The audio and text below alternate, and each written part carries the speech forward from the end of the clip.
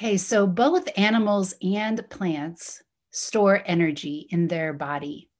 And this is can be important specifically if there are periods of time where um, there is not energy readily available.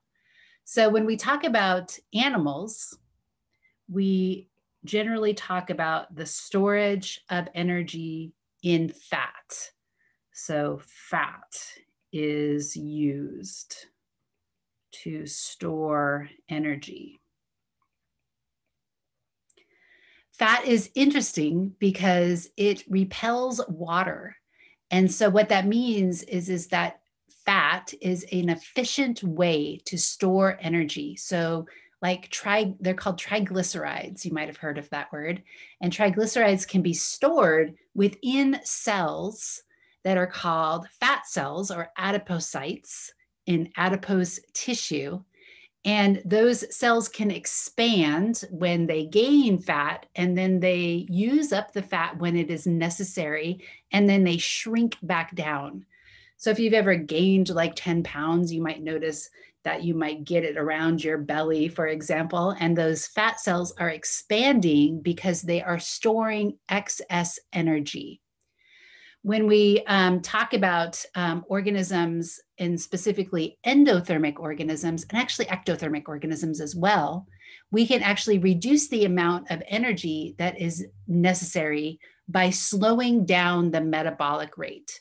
So we can also talk about hibernation in some organisms where they will slow down their metabolic rate in order to conserve energy.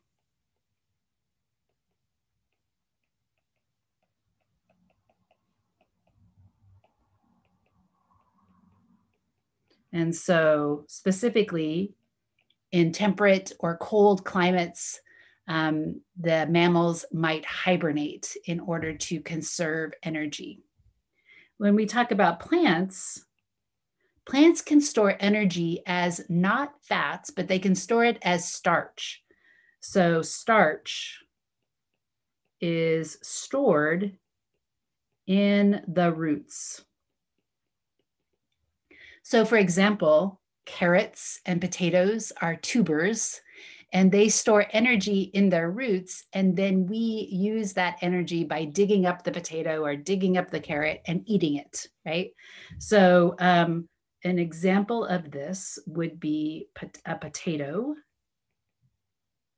And the potatoes store energy in tubers, they call them.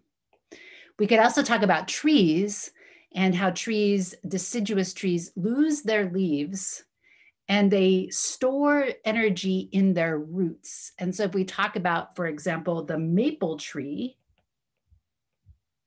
over the winter, it stores energy in its roots. And then during the springtime, that energy comes back out of the roots and moves up and it's going to fuel the production of new leaves. And so this is what is referred to as the sap. And the sap rises. And so in the spring, humans sometimes take advantage of that by putting a tap in your maple tree and getting some of that sweetness out, right? In the terms of maple syrup and you can boil it down and you can get rid of some of the water and concentrate the sugars in the maple syrup.